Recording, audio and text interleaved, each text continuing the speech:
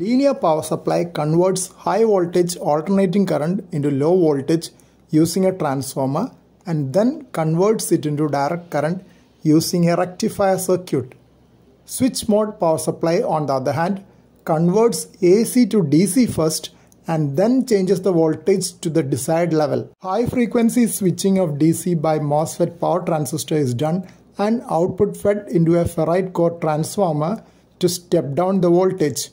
It is then rectified and filtered to give the final DC output.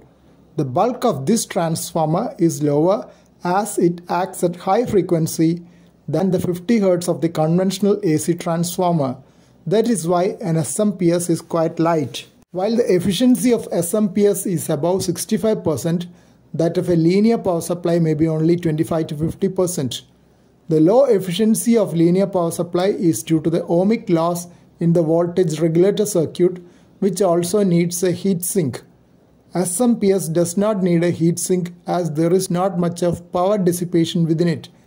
SMPS is commonly used in mobile chargers. It can also be used for HF radio, accepting a likelihood of having more noise than a linear power supply and needs RF shielding to avoid RF interference produced by the switching process.